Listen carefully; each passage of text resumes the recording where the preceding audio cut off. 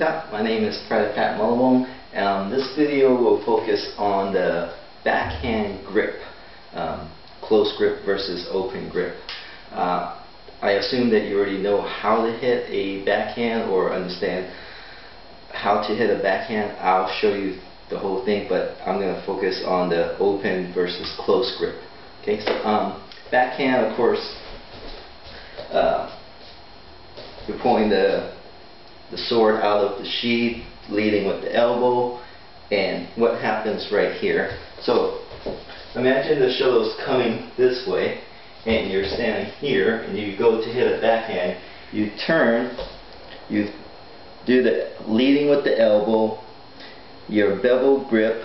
What you want to do is you want to open your grip, and what that is is, I guess. Uh, this way, sorry.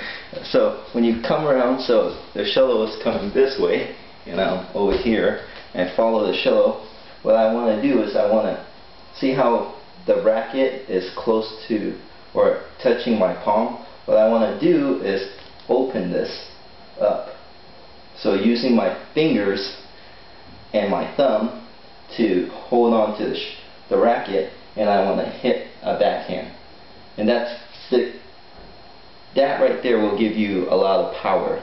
It's this uh, closed versus open grip um, for a for a backhand clear. So coming this way, you come down, you open your grip, and you swing. So showing this way, follow the shuttle, come down, open your grip, and hit.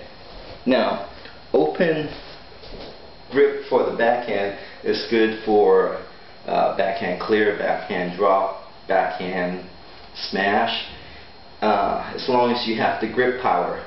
Um,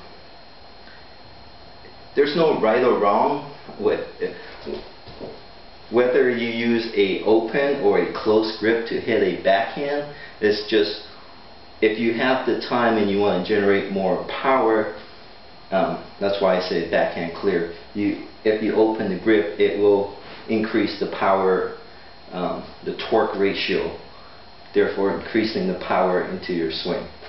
Okay, so just try that when you hit a backhand. If you feel like you don't, you're not getting enough power in your backhand shot, try the open grip. Okay. Um, thank you for watching.